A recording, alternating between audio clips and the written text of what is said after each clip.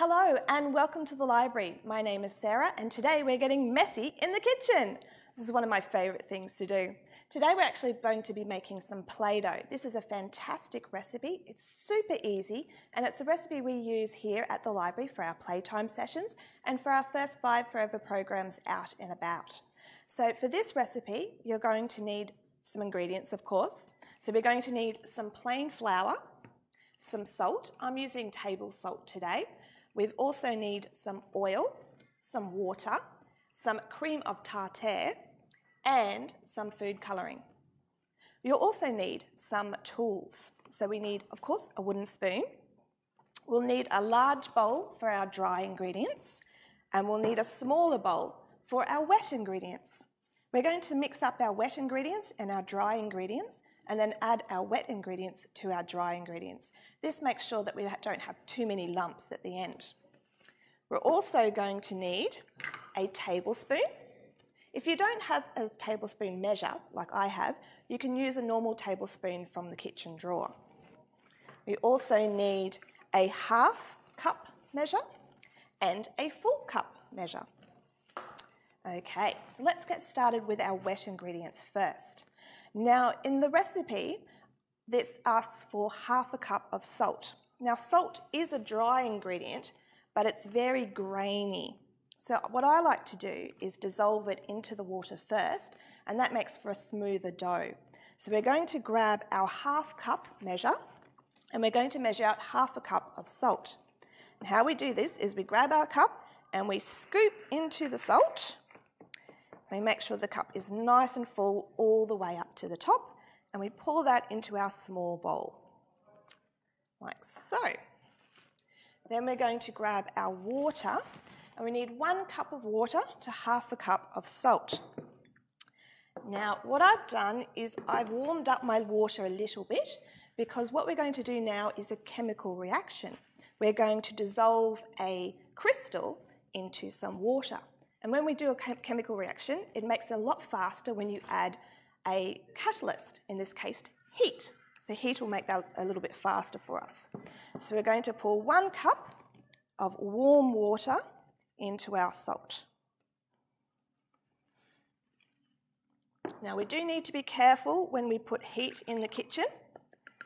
So when we measure out a cup of warm water, I'm just using the hot water from the tap, I'm going to put the hot water into a jug first before I put it into my measuring cup. If you try and pour the hot water from the tap, it runs a little bit too fast and it can splash up into your face. So make sure you pour it into a jug first. All right, so we've poured that into our salt and we're going to grab our spoon and give that a gentle stir until all of the salt has dissolved, well, most of the salt. You can see it's nice and cloudy a stir.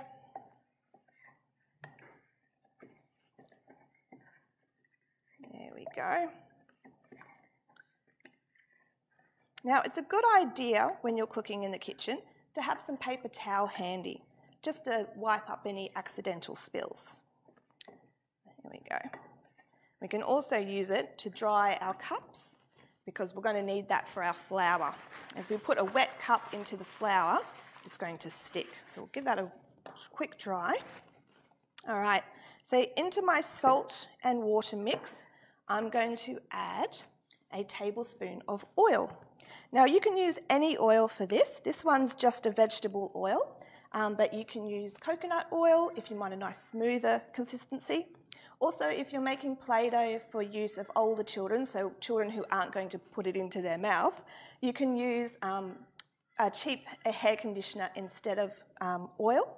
Uh, that'll make a nice smelling um, Play-Doh. Or you can use some hand moisturiser as well. There we go. So we'll pour a one tablespoon of oil. I'll give that a wipe. And my favourite bit, the food colouring. So I think we're going to make this one yellow. Now, food colouring is very strong, so we don't want to use too much of it. And if you're using blue, be very careful because blue does stain your fingers. I used blue a little bit earlier and it's all over my fingers. So I'm just going to do about half a cupful of the yellow. There we go. Being careful not to get it on my fingers. Now when it first goes in, yellow sort of looks orange, but the more you mix it, the more yellow it becomes. There we go. All right, so we're going to set that aside while we mix up our dry ingredients. So grab our bigger bowl. So in here, we're going to need one cup of plain flour. So I'll grab my cup measure again, making sure it's nice and dry. And we'll pop that into the flour. Now, if you grab your clean finger and run it across the top of your cup, that makes sure you have one full cup of flour. There we go. We'll pop that into our bowl.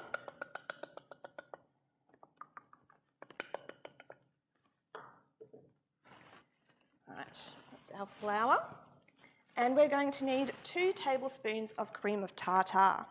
Now, cream of tartar is used in cooking. It's actually a part of uh, baking powder. So baking soda and cream of tartar mixed together makes baking, so baking powder. it's very hard to say. And that's what makes your cooking rise.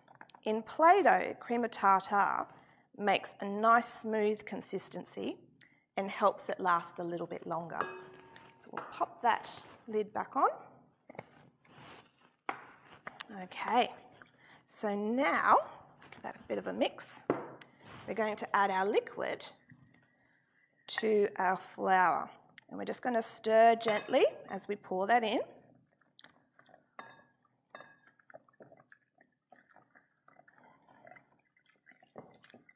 There we go.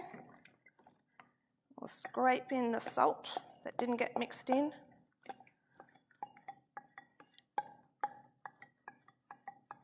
There we are. I'm making a bit of a mess. I always make a mess in the kitchen.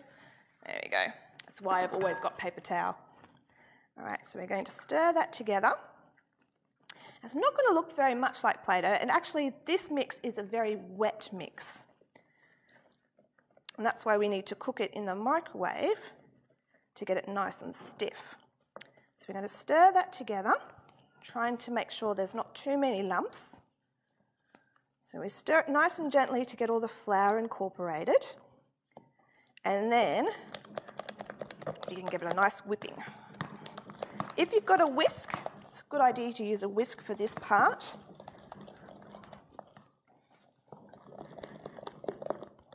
Oh, can you hear that sound? Oh. All right. So we stir that through. You can see there, it's nice and mixed and it's a very wet mixture. Now, if you don't have a microwave, you can actually do this on the stove. Just put it into a saucepan and cook it on a low heat, stirring continuously as you go. If you've got a microwave, it goes a little bit faster.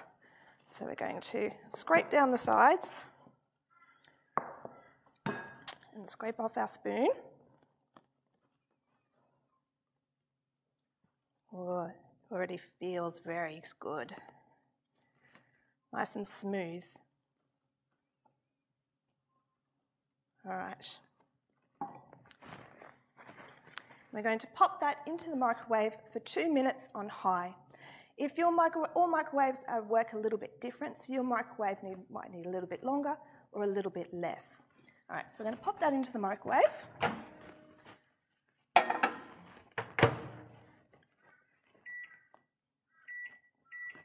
In two minutes. There we go. Okay, so while we're waiting for that to cook, it's time to tidy up. So we're going to wipe down our bench and we're going to put our cups into nice warm soapy water to wash. And hmm, what else can we do while we're waiting? Or maybe we can talk about all the different books that you can borrow from the library. If you're having fun being messy in the kitchen, you can borrow all sorts of recipe books from the library, as you can see around me. We can learn how to cook things from cakes to biscuits to main meals to lunches and all sorts of different things. We also have fantastic books on slime making. So if you don't want to make something to eat and want to make something to play with, we have lots of slime books here at the library and other scientific experiments that you can do at home with things around the house. So how much time have we got? We've got one more minute. Hmm. You know what else you can make with things in the kitchen? You can make oobleck. We're going to make some oobleck after we've finished making our Play-Doh. And what oobleck is, is a non-Newtonian liquid. So that works differently than how Newton says that liquids should react. In this case, oobleck is a liquid that can pour, but if you add force to it, it becomes a solid. And it's made with corn flour and water. Very easy to do. Almost done. We're going to wash up our bowl real quick.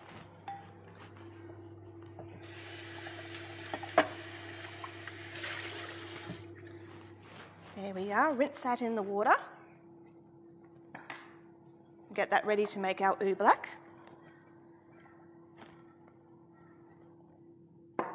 Yep, almost done. Oh, eight, seven, six, five, four, three, two, one. All right, we'll pop that out. Be very careful because it's very hot out of the microwave. You might want to get it grown up to help you with this. All right, let's give that a stir. And you can see it was a liquid and now it's almost Play-Doh.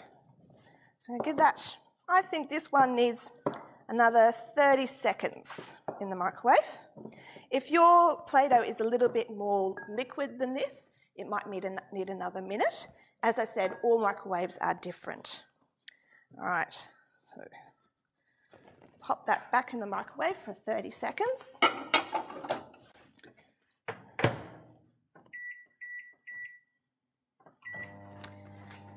While we're waiting for that, we're going to get our plastic wrap ready.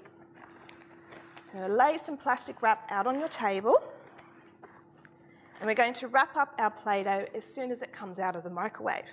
This makes sure that all the steam stays inside the dough and it doesn't dry out too quickly. So eight, seven, six, five, four, three, two, one. All right, here we go.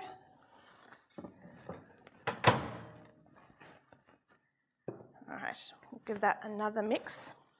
And what you want it to do is to come away from the sides of the bowl and form a smooth ball in the middle. So make sure that's grabbed all the different Play-Doh. Oh, nice and soft. Okay, so we're going to turn that out onto our plastic wrap.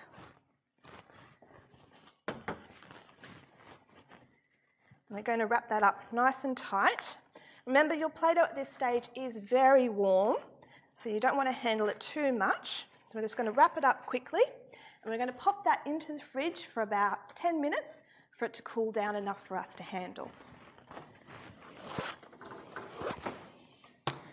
Okay, so while we're waiting for that to cool down, let's make some oobleck.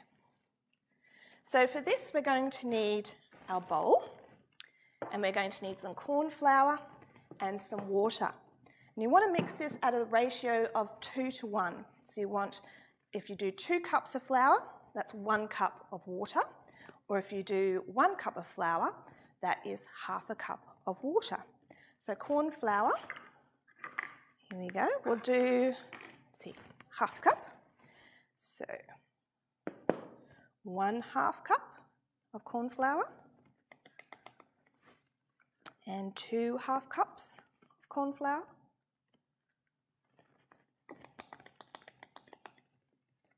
And then a half cup of water.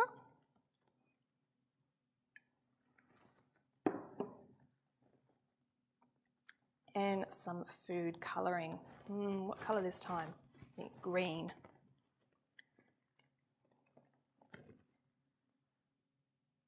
There we go. So we'll grab our spoon, which we'll clean the Play-Doh off of, and give that a stir. Now, it's a bit tricky to stir oobleck because, oops, a daisy. As I said, um, oobleck is a non-Newtonian liquid. So when you add pressure to it, like when you stir, it becomes a solid. So you have to stir very gently to try and get all the flour incorporated. If you try to stir too hard, it becomes very difficult. All right. There we go. Ooh, my oobleck is a little bit sloppy. I'm going to add some more flour. All flours absorb water differently. So sometimes you need a little bit more flour, sometimes you need a little bit more liquid. Oh, that's looking much better. There we go. Can you see here as I'm stirring it? It's becoming nice and thick when I stir, but as soon as I let go, it becomes a liquid again.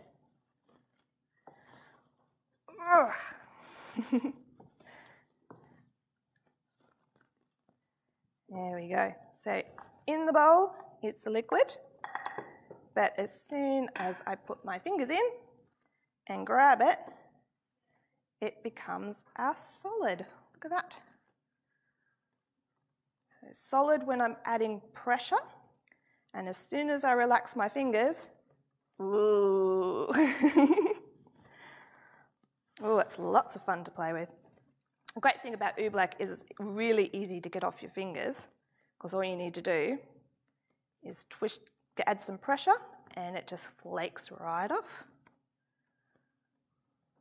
There we go.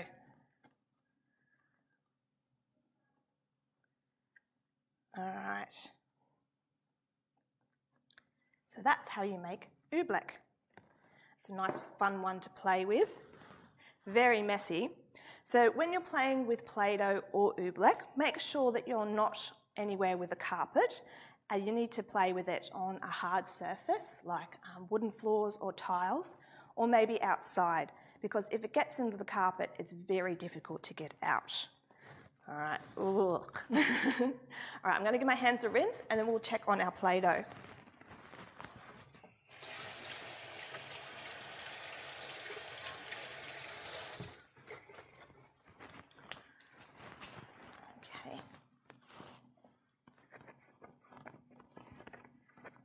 So it hasn't been 10 minutes, but I have had it in the freezer. So let's have a look.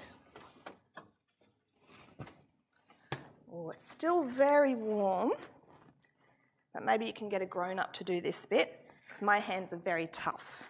So I'm going to unwrap this and I'm going to give it a bit of a knead. So we're going to push and fold. You want to knead it till it's nice and smooth. Oh, it's very warm. There we go. So that's our yellow Play-Doh. And I've also made some blue Play-Doh as well, a little bit earlier. So this lump of Play-Doh is made from one cup of flour. This lump of Play-Doh I made double the recipe. So this is how much you make if you do two cups of flour to make your Play-Doh. Give this one a bit of a knead as well. You can see it's nice and smooth and very soft. Your Play-Doh will last in the fridge for a week or two, depending on where you play it and how clean your hands are when you start playing with your Play-Doh. Remember, there is some salt and oil in the Play-Doh, and this can get on your hands. So after playing with Play-Doh, it's a good idea to give your hands a bit of a wash, um, just to get rid of that salt and oil. Uh, also, the oil will come out on any surface that you play with your Play-Doh on, so make sure that it's a surface that is easy to clean. All right, there we go.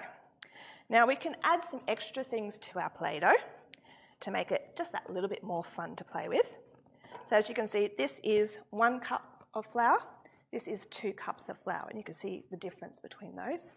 And it's just as easy to make a big batch as a small batch. Right, so what can we do with our Play-Doh? Well, I've got two primary colours here, and if I mix them together, I might be able to change the colour. So yellow and blue, push them together. What colour are we going to get? Let's see. Smush, smush, smush. Oh, I can see the colour changing already. Now you can add equal measures of the yellow and the blue. What colour does that make? If you add more blue than yellow, what colour does that make? Or if you add a heap of yellow and a little bit of blue, what colour does that make? There we go, a nice emerald green Play-Doh. Now, if you make Play-Doh in all the primary colours, you can play with colour matching and seeing what colours you can create. You can also play with the texture of your Play-Doh. You can add some hard surfaces, um, hard substances like rice or uh, split peas to change the texture of your Play-Doh. You can also add some fun things from the craft cupboard. We've got some glitter. We also love to play, add glitter to our Play-Doh. So we just mould our Play-Doh out and put some in the middle. And then fold that over and give it a good knead. Add some more. And this is how you add rice or split peas or any other thing that you'd like to add to your Play-Doh. You can add some beads, mm, seeds from the garden. Here we go. Just be careful that um, if you are adding things to your Play-Doh, that if little ones are playing with it, that they don't actually put that Play-Doh into their mouth. All right. There we go, a nice glittery Play-Doh. That. All right, well, that's all the time we have for making a mess in the kitchen today. Uh, if you'd like to join us for more craft activities, we are doing a wonderful art program on Friday on our Facebook page. You can also look on our Facebook page for storytime sessions, playtime and baby time sessions as well. And hopefully we'll get back to business pretty soon. Um, otherwise, have fun for the rest of your holidays. Have fun making mess in the kitchen and we'll see you again soon. Bye.